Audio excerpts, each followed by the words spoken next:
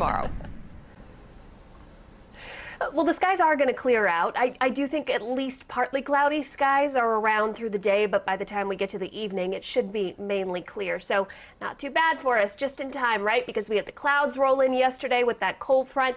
Now just kind of sitting as a stationary front, eventually warming up to the, or moving up to the north as a warm front. But when we look at our temperatures map, you have a pretty good idea of where that front is lying. You've got Mineola at 73, Hillsboro at 72, and then Waxahachie is sitting at 60. 65, Terrell's at 68, Dallas at 64, Fort Worth at 60, and then we've got Bowie and Graham sitting at 57 degrees. So we're dealing with the cloudy skies this morning. We've got the uh, a little bit of drizzle from time to time. We're expecting the clouds to begin to break up later this afternoon, so we'll get some peeks of sunshine, and that will help to warm us up also with the fact that just temperatures right now are sitting in the 60s and even 70s.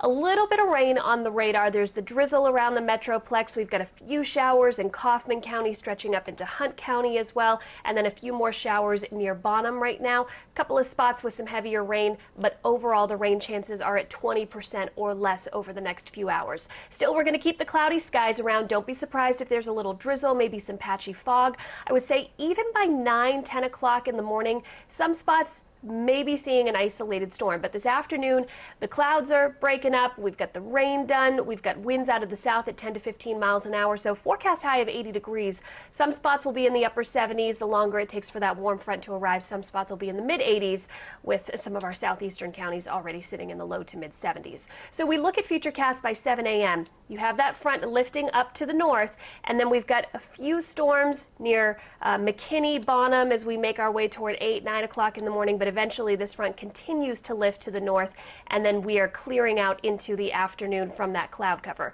Tomorrow, we've got temperatures warming into the mid 80s. We're expecting the mid 80s around through Thursday as well. Next cold front arrives on Friday, brings a 20% chance for isolated showers and storms, but I'm more impressed with that cold front Sunday into Monday. This is just one model, but watch that blue roll in Sunday and into Monday. We could be talking about temperatures dipping into the 30s and 40s. It's just one model, but we are going to be watching for that. And it does bring better rain chances at 30 to 40% for Sunday and Monday. Karen? All right, Aaron, thank you very much.